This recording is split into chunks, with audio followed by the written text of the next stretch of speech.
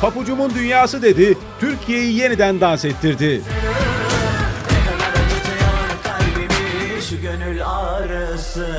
Birbirinden güzel şarkı ve albümlere imza atan Robert Hatemo bu kez yeni albümü Papucumun Dünyası'yla dinleyenlerinin karşısına çıktı.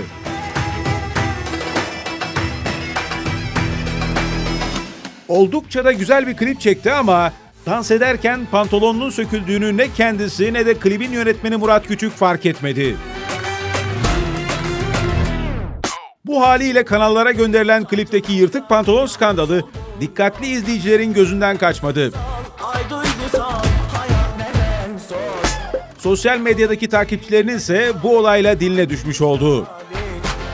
Hem sever hem eder insan ne garip Her işinde oldukça titizlenen Robert Atemo'nun bu görüntüler karşısında nasıl bir açıklama yapacağı ise merak konusu.